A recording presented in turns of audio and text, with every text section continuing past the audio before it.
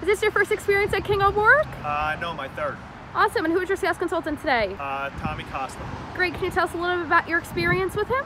Uh, you know what? This is my third deal with Tommy because he's awesome. He makes it a nice, simple, easy experience.